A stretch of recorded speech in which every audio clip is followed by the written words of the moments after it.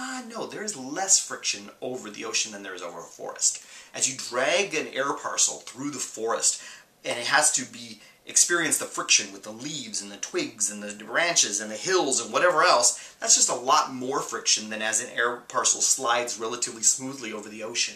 Even if there are some waves and so on, it's just nowhere near the surface area of all those leaves and twigs and branches and whatever else. Alright, let me know if you have questions about that. We're going to have questions on the quiz about friction. In the meantime, we're done with this very long lecture. Navigate back to BlueLine's front page and see if there's any other lectures you need to do in this module.